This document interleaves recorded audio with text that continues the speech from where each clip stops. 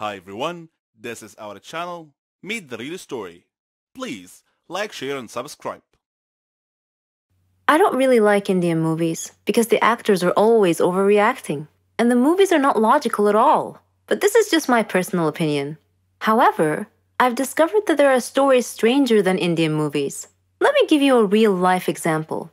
I'll tell you a story about a young woman named Samantha. Samantha was a beautiful girl with blonde hair and green eyes. She lived with her grandmother after her parents died in a horrible car accident. The whole country read about it. She had many friends, and all the neighbors liked her. They considered her the most beautiful girl in town. Many had proposed to her, but she didn't care much for them. One day, Samantha was walking alone down the street after visiting one of her friends. Suddenly, she had an eerie feeling that someone was following her. She began running and crying for help. Her follower began running and stopped her. He was an ugly man, pointing a knife in her direction. He asked her to hand over her purse. She threw it at him and made a run for it. The man said, Wait, and made to stop her. But another man appeared out of nowhere and punched the thief, who fell unconscious. The brave and good Samaritan picked up Samantha's purse and handed it to her. He was very handsome, with green eyes, soft hair, and an amazing smile. He escorted her back home, and she felt that he was her knight in shining armor. She went inside and hugged her grandmother tight, who was a little surprised but smiled. Samantha was so happy that she gently pulled her grandmother to her feet, and they whirled around and danced playfully. The very next day, she was surprised when she answered the doorbell. Steve, the tall, handsome man, was standing there, holding flowers. He proposed to her, and she said yes. Thus began their love story. Then one day, Samantha was standing in the kitchen preparing dinner. Steve and her grandmother were out, but they were supposed to be back soon. Samantha had everything ready, and she set the table. The house door opened, and Steve walked in. Samantha went to greet him, but she felt dizzy and fainted. Steve quickly took her to the hospital. The doctor congratulated Steve, saying that he was going to be a father. Steve was ecstatic, but Samantha was not. Instead, she was shocked and nervous. She said that she was too young to have kids, that she wasn't ready to be a mother. Steve was taken aback and said, But why? Don't you want him? Things were different from that point on. Samantha tried to get an abortion several times, but Steve was always stopping her. She couldn't accept it. She blamed Steve, but Steve couldn't understand her. In her seventh month of pregnancy, Samantha was with her grandmother at the supermarket when she saw a small boy run onto the road. Fearing he might get run over by a car, Samantha quickly pulled the boy off the road to safety. The boy's mother saw what happened and thanked Samantha, feeling so grateful and relieved. Samantha was crying at the moment and replied, No need to thank me. I'm going to be a mother like you soon. For the first time, she was beginning to feel real affection for the baby. Forgive me, she silently thought to herself. She tried to contact Steve many times to tell him that she had finally accepted. She was ready to become a mother, but he never responded. Finally, the day had come. Samantha went to the hospital to give birth. After the surgery, she was very tired. Nevertheless, when she woke up, she immediately asked for the baby. Her grandmother handed her the child. It was a daughter, and she was so beautiful. The nurse tried to take the baby out of her arms, but Samantha refused, wanting to hold her for as long as she could. The next day, Samantha heard a big commotion, and she had a feeling of dread that something bad had just happened. It was confirmed when she saw her grandmother's face. She asked what had happened, and her grandmother told her that a child was missing and had apparently been kidnapped. Samantha's pale face slowly pleaded, Please don't tell me that it was my daughter.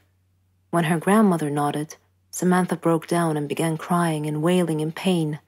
The nurses tried to calm her down, and when she did, her grandmother came over to her and handed her a note. It had been found in her missing daughter's hospital crib.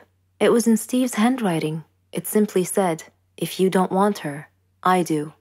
Then Samantha fainted. For many years, she tried finding her baby, but couldn't. Steve and her daughter had vanished into thin air. She felt as if time had stopped for her, but Steve didn't feel that way. He raised their daughter into a beautiful young woman. He named her Margot. Whenever Margot asked about her mother, Steve would always tell her that her mother was dead. but he often told her stories about her mother and how much he had loved her. Margot's intuition, however, told her that her father wasn't being completely honest with her and that he was hiding some big dark secret. One day, Steve fell ill unexpectedly. He called Margot to him and told her that he was very sick and felt that he was going to die soon. He said that he wanted to reveal a secret that he had long kept from her, that her mother was actually alive, and that her name was Samantha. He told her that he had kidnapped her from the hospital at birth because her mother did not want a child. He regretted it and asked Margot to forgive him. He gave her Samantha's address, and soon after, he died. After his death, Margot decided to go looking for her mother. I am Margot, and I am now standing at my mother's address. At her front door, I cannot predict my mother's reaction when she answers the door and I introduce myself as her daughter, but I'm going to hug her and tell her that I've missed her for so long. Hello, I'm Sarah. Ever heard of a phobia before? Don't worry, it's not contagious or anything. It just means you're scared of something in particular places, people, things. I have a phobia, but I don't like to talk about it, and I definitely don't want to be seen in that state. I was in my second year at college. I had been very busy that semester because we had a lot of assignments, and it was fine. I mean, I liked studying and completing tasks, but I was never a nerd or a geek. No. I like to dress nicely too. I have my own fashion and style. It wasn't easy making friends, though. There were two types of people at my school smart nerds who couldn't care less how they dress, and complete airheads who dressed nice. I didn't fit in either one of those groups, so I basically kept to myself until one day I got assigned to do a task with a girl and a boy, Jane and Kyle. They didn't look nerdy at all, and I thought to myself, oh, great, looks like I'll be doing all the work. But when we started talking about the project, they didn't just sit there or toss ridiculous retorts all three of us were having an actual conversation about the topic. I was so thrilled. It finally seemed like I belonged somewhere.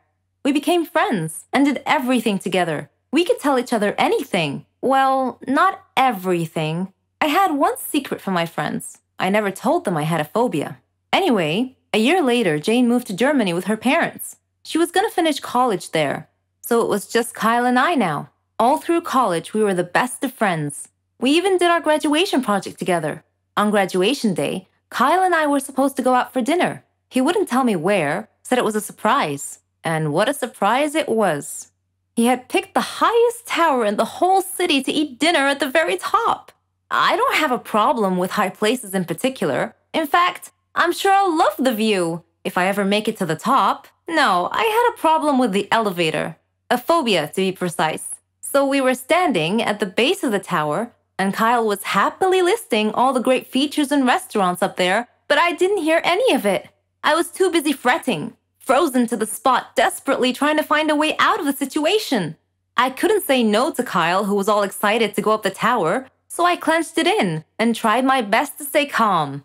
We got in the elevator, and the doors shut. I couldn't control what came after that. I was terrified, screaming and shouting hysterically, banging on the walls then falling to the ground? Of course, I don't actually remember any of it. Kyle told me later on. The last thing I remember was the elevator doors shutting close. When I came to, I was at the hospital. Kyle was sitting by my bed looking worried. When he saw that I woke up and that I was feeling fine, he started laughing at me, saying, Why didn't you tell me you had a phobia? I felt ridiculous and started laughing too.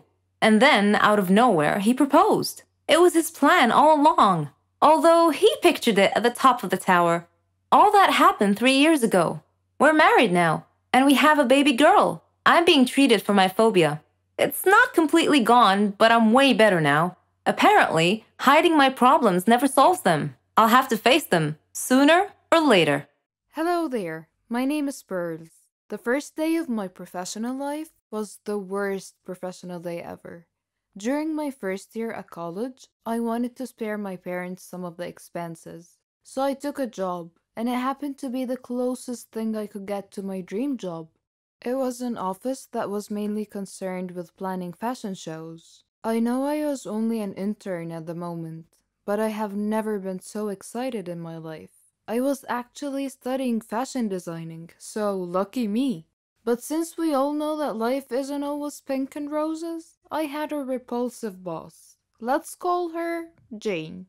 I was Employee of the Month three times in a row. My life couldn't get any better. Well, except for Jane, who always thought I made her the worst coffee ever, yet she still drinks it. The closest colleague I had at work was a guy named Mark. I also had a tiny little crush on him, but that is not our point here. Anyways, I was supposed to organize a huge event, and so Jane sent an extra long office wide email giving out details about the event and the brand and who was assigned to do what. I was ecstatic. I was running around the office like a busy bee that had to make sure everything was in place. After a long, tiring day, I was at my desk, rereading the email she sent and enjoying a good cup of coffee. And guess what? Jane had about a gazillion typos, and to be honest, I wanted something to cool me off after doing so much. And being the smart employee that I am, I wanted to crack a good joke and maybe, just maybe, get Mark to laugh. I wrote a sarcastic, full of mockery email, and once I've hit send, I heard gasps echoing around the office, and I realized that I had clicked reply all. Jane called and wanted to see me at her office. My knees were all spaghetti like, and I wore my heart down my sleeve. And to my greatest surprise, Jane took it too well. She told me, and I'm quoting, I think you have a great sense of humor. She even offered me to become her own personal assistant and the big event hostess. And not after a long time, Jane had ruined my promotion happiness. She showered me with paperwork that I had to stay up until 1 in the morning to get done. And when the big day was finally here and I was getting ready for the event, I got a bit too excited and I went to the office all dressed up. I saw Mark and tried to act as smooth as I could. Well, I tripped over and I ripped off my dress. Jane came out of her office at the same exact moment, and again she saved my life. She lent me one of her super expensive dresses that I'm sure it cost her a big fortune. And that, my friends, was one mistake that I have totally nailed.